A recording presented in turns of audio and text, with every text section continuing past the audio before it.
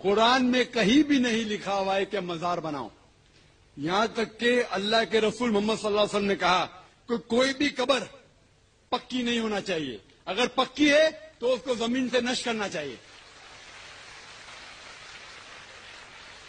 सही बुखारी की हदीस है कि अगर कोई कबर पक्की है तो उसे ज़मीन के लेवल पे लेके आना चाहिए।